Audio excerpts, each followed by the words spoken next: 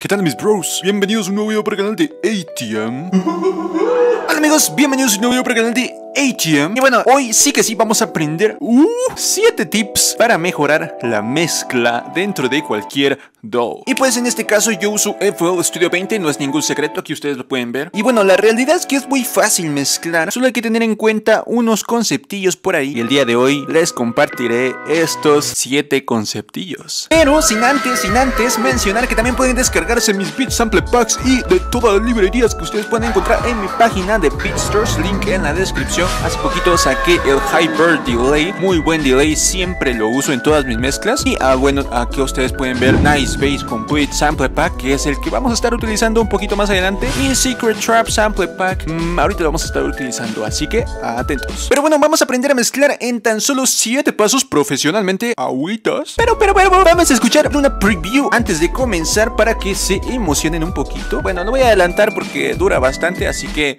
escuchemos.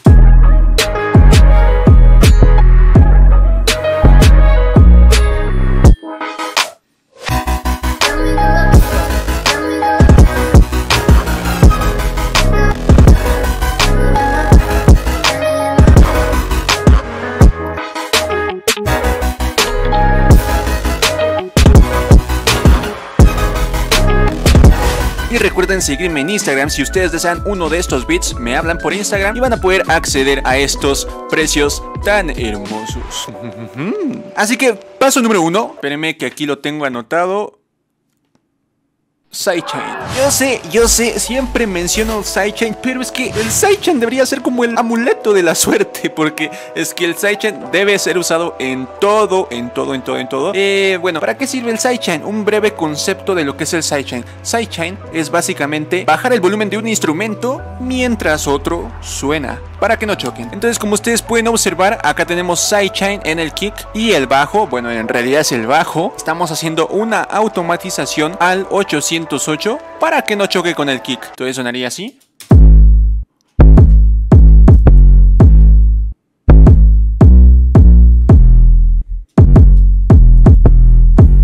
Sin sidechain.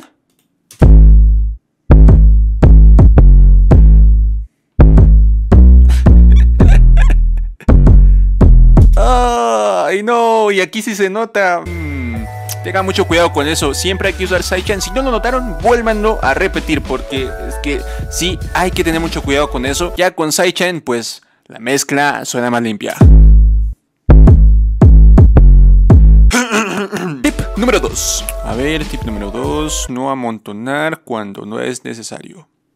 ¿A qué me refiero cuando digo no amontonar cuando no es necesario? Bueno, piénsenlo. Vamos a analizar rápidamente esta partecita. A ver, escuchemos.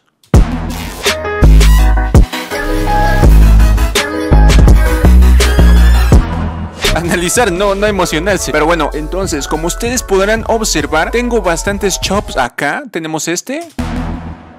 Un poco de reverb. Un poco de rise up. Y también tengo acá la vocal. Bueno, es el loop. También tenemos acá unos growls. Y bueno, si se pudieron dar cuenta, todos y cada uno de ellos solitos no tiene ningún sentido. Pero todos juntos...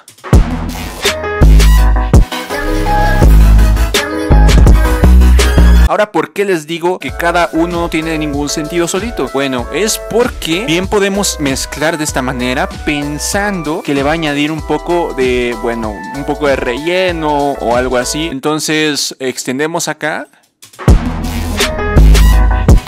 y ahora escuchen, está sonando un poco más la melodía de este synth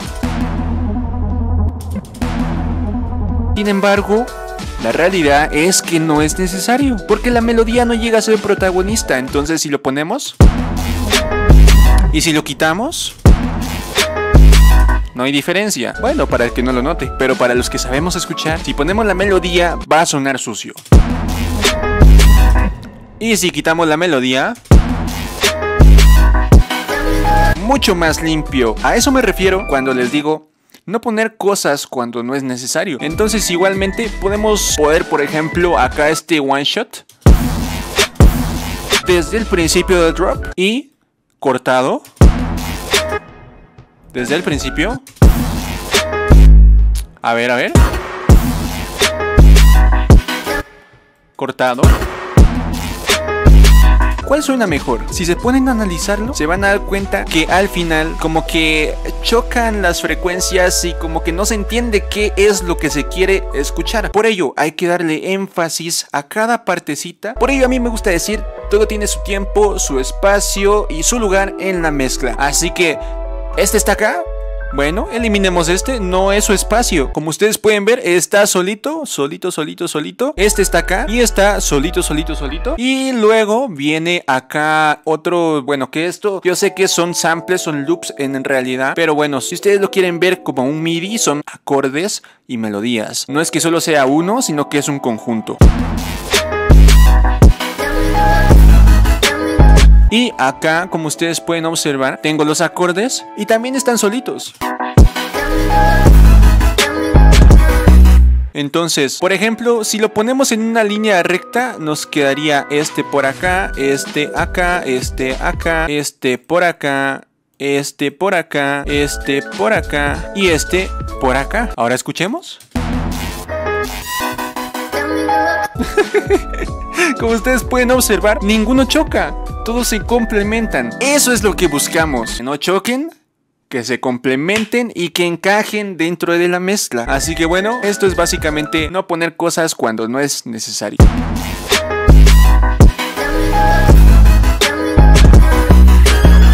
Número 3, EQ, ecualización para eliminar frecuencias innecesarias. Así que bueno, yo sé que esto es eh, algo básico que ya todos sabemos, eh, pero les voy a mostrar un ejemplo acá en el inicio. Este lo tenemos enviado al canal número 14, entonces vendría a ser este. Como ustedes pueden observar, tengo una ecualización que básicamente estaba usando el preset acá de Old Telephone, pero lo modifiqué a mi gusto. Luego hice una automatización del el mix, como ustedes pueden observar, lo voy a hacer un poco más grande, de el mix acá. Entonces este lo estoy automatizando por acá para que de primero comience con esta curva de ecualización. Entonces sonaría así.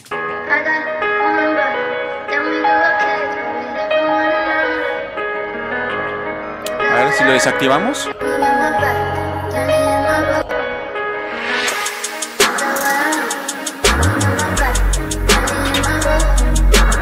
La parte interesante es que lo que estoy haciendo yo es poner de nuevo la ecualización cuando ya entran los bajos. Entonces, como ustedes pueden observar, acá tenemos bajos.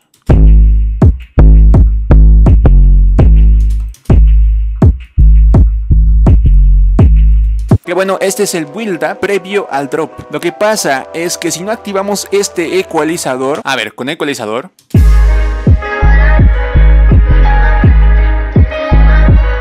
Desactivemos el ecualizador.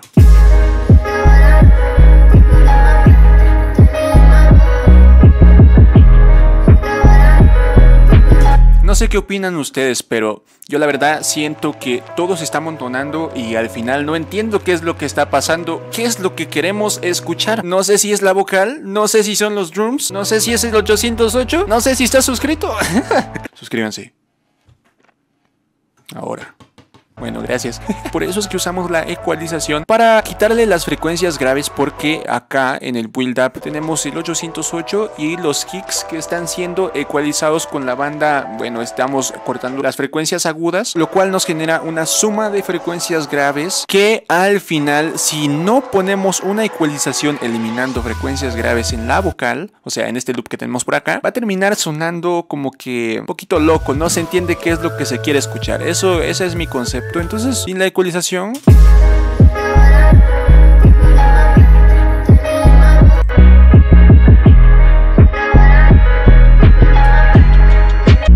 yo siento que es mucho más tranquilo, yo siento que sin ecualización todo se está eh, como que estuviera peleando. No, yo quiero salir, no, yo, yo, yo. ¿Y quién se escucha? Entonces, para darle énfasis a los bajos, pero que la voz esté ahí rondando, entonces ecualizamos y ya sonaría así.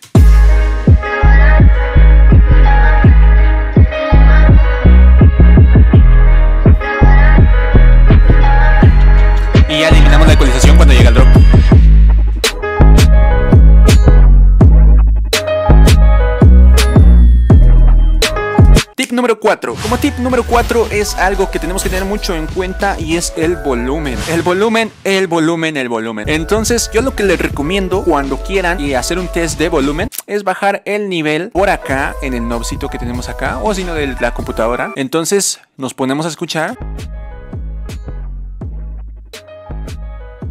Y lo que tiene que pasar es que no tienen que resaltar una cosita más que otro. Como es un beat, lo que tiene que resaltar es el kick, el 808 y los snares. Entonces, ¿qué es lo que resalta?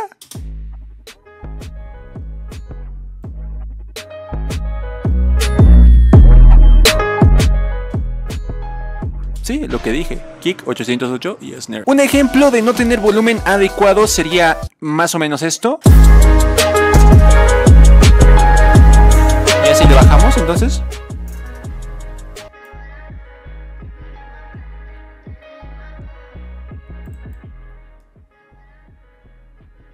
Siento que se escucha un poquito más la vocal y como es un beat lo que queremos es dejar el beat ya listo para que alguien cante sobre el beat. En este caso pues eh, la vocal no debería resaltar, es una vocal meramente de acompañamiento y ya de por sí bueno se escucha muy eh, saturado cuando le pongo el volumen que se opacan los bajos, el kick ya no resalta. Entonces hay que tener mucho cuidado con eso. Le doy reset y ya quedaría como estaba antes. Resalta el bajo, resalta el kick.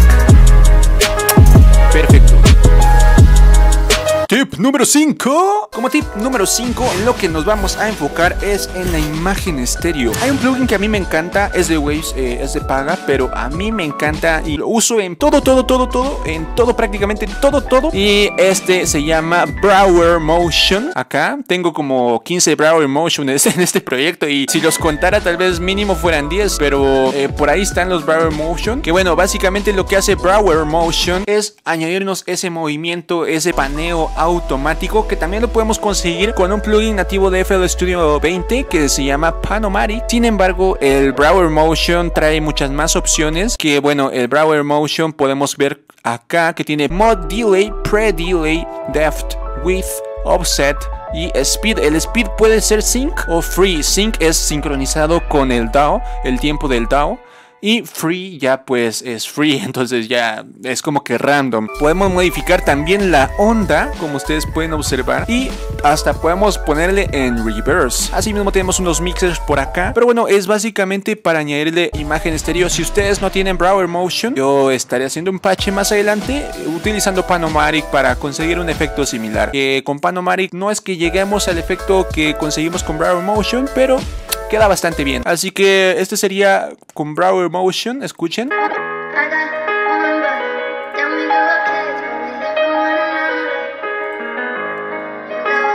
Acá se está moviendo.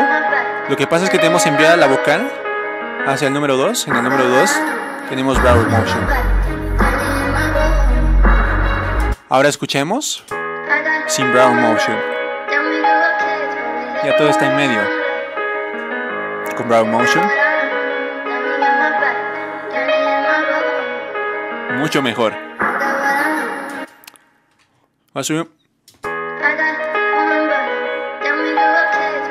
Y esa es la magia del Bravo Motion, pero lo que más me gusta es jugar con el Pre-Delay y el Mod Delay, que le dan un toquecito mucho más cálido a la esterilización. Pues, asimismo, como ustedes pueden observar, por ejemplo, si llegamos al drop,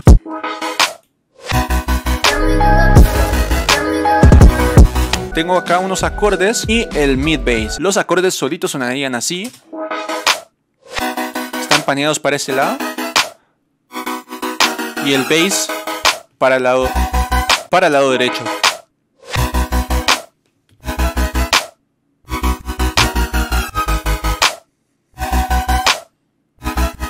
Bueno, el...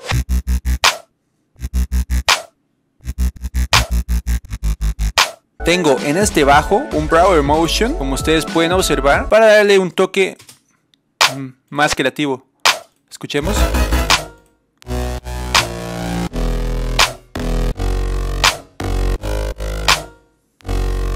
Yo sé que el bajo no se suele panear, Pero déjenme, es mi mezcla. A mí me gusta cómo quedó y lo dejo así. Como tip número 6, lo que vamos a ver es reverb o no. Vamos a ver usar el reverb. Entonces, hay que tener mucho cuidado con el reverb. Como por ejemplo en este. Acá estoy haciendo una automatización de reverb. En los primeros dos no tengo reverb porque quiero que suene totalmente seco, si no sonaría así. Y ya me ensucia la mezcla, entonces hay que hacer automatizaciones. Hasta acá ya empieza a sonar el reverb para que deje una colita y se vaya. Es para mantener limpia la mezcla y asimismo tenemos otro reverb que, eh, bueno, este es un reverb grabado. Escuchemos. Es un kick con reverb. Pero lo grabé, lo edité en Edison, lo ecualicé y ya lo arrastré por acá para que sonara junto con el kick. ¡Uh! Solito el kick. Con... Ah, hermoso, hermoso, hermoso. Y ya viene a sonar así.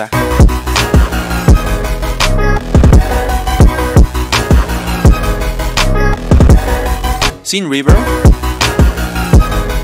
Bueno, suena un poco seco. Ah, le da un toque, la verdad, le, da un toque. Pero bueno, como paso número 7.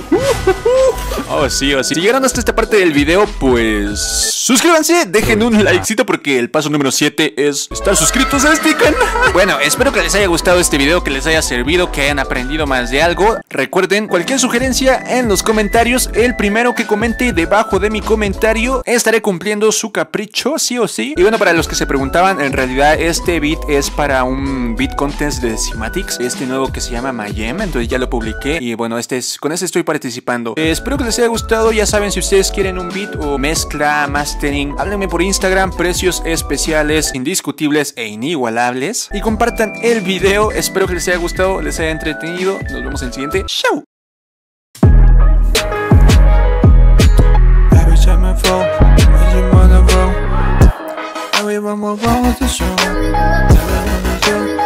什么风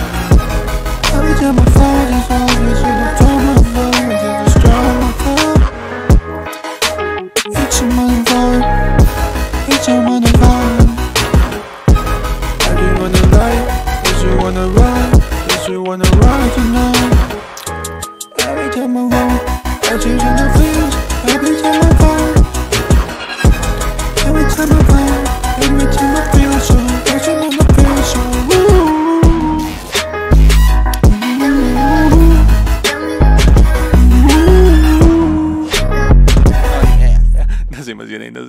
Me emocioné.